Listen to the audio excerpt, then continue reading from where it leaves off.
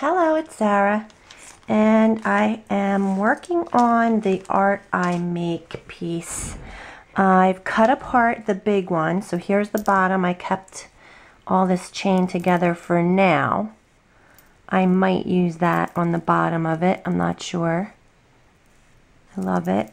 And then look at all these pieces I got. This like flower, this just pearl ring and this bling ring. Look at that, huge.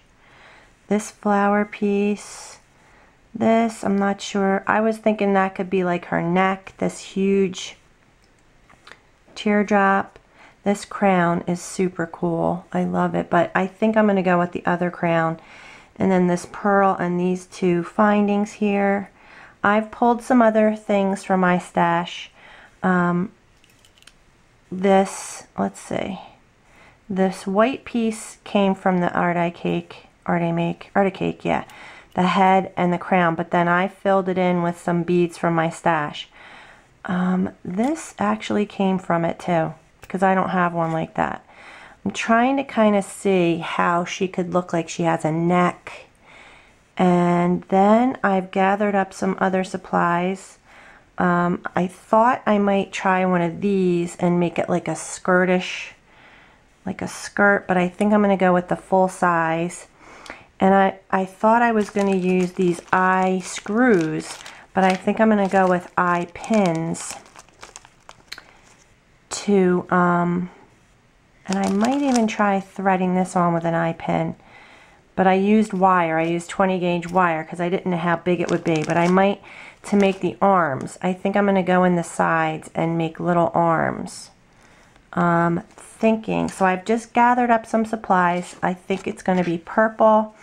I'm going to glue this. I could actually, um, I might see if I have a thick purple ribbon, but I don't think I do. I don't think I do because that would be perfect. And ribbon would adhere easier. This paper is kind of hard. Um, and then I have this lace that I was thinking I might overlay. It's a little long. So I'm going to see what other lace I have, but I do think I am going to do that. So I'll be back when I've kind of put things together a bit more. Okay, be back. Okay, I'm back and I've got, I didn't end up using the chain from the bottom. Um, pretty much went with what I was thinking. Um, I gave her some arms and legs, so let me show you what I have. I'm going to show you it hanging for the for a minute, but I don't think that's going to be um, very good to show you. But look, it's like a little art doll. Um, I did not glue the pin in. I actually used this 20 gauge wire. I'm going to lay her down, but look, look how cute. She has little arms. I put um, my lock and key made with love lock and a little key for her hands. And then I just put these little beads. They come already um, like with a with a bail in them. So I just hung them on the arms to kind of thicken them up. It's just chain. And then the legs are the same thing. I just did um, beads and then a piece charm two piece charms for her feet. So I'm gonna lay her down see if you have a better um, that better view this way. Um, so the head is exactly what I was thinking. I just filled the crown. I don't know if you can tell. There is a bead inside there. And then I put a bead cap inside as well just to kind of keep it as steady on the head as I could like because it would it was moving around a lot and then there's a little crystal butterfly on the very top of the crown because they usually have some type of gem up there. And then I just made this loop in the wire and put a um, jump ring and a little piece of um, ball chain. And then I thought she should have a neck. She had a big hole. This bead had a big hole, so I just took one of my spacer beads and kind of it it fit in the hole, so it holds her neck kind of steady. And then I just put a rondelle, I think they're called rondelles, um, underneath that to kind of give her a neck. And then this flower piece I just love and just thought it kind of played into that royal kind of like I don't know, they always wore kind of puffy things at their collar. So, um, and then I did end up using um, eye pins. I thought I was going to use eye screws, the eye screws, but I just thought they were way too bulky, so I just use eye pins. And eye pins are just, um, they're like a pin. I put them away. I just put them away. Um, it's just a like a pin with an with a loop on the end of it, and that's where I hung my um, the chain from. And then I just used jump rings and attached these beads to the chain, and then there's the little key. I did the same thing on both arms. I just pushed a hole. I actually used these little things. These are the Tim Holtz. I don't know what they're called, but I just took this and kind of pushed a hole through the cork where I wanted it to go kind of eyeballed it and then just I didn't glue anything so I hope this is going to hold we'll see um, she's not going anywhere so I'll have her for a little bit I did glue paper to the cork. I took a piece of this pretty sure it's K Company paper. And I covered it with paper and I just thought nah that's not gonna do it.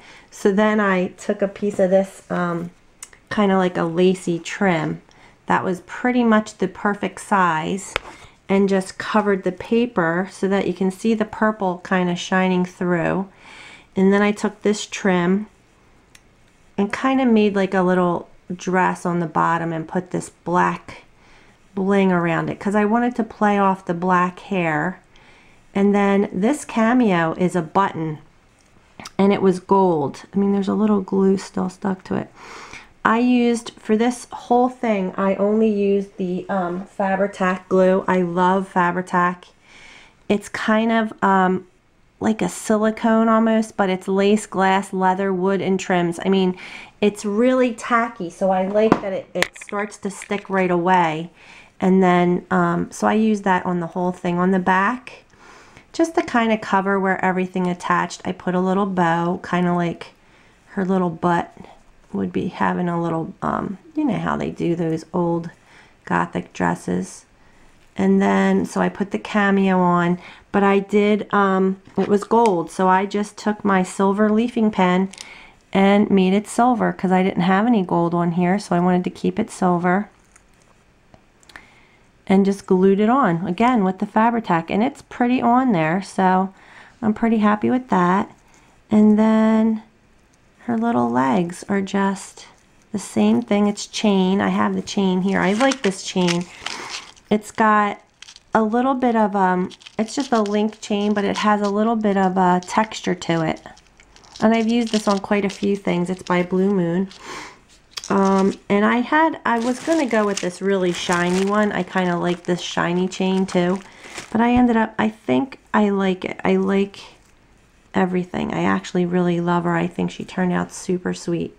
So that's kind of what I had in mind for this piece. And I have a lot of pieces left. Um, but the head was what really did it for me. And made me think, yep, I want to make an art doll. So there she is. I'll hang her back up.